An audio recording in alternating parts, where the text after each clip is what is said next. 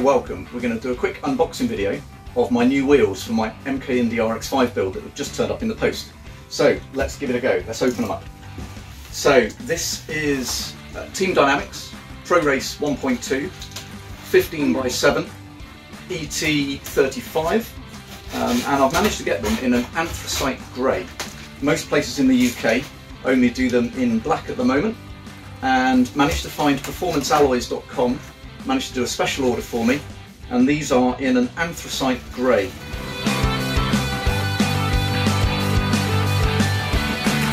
There we go. Lift them out. And there we go. What do we think?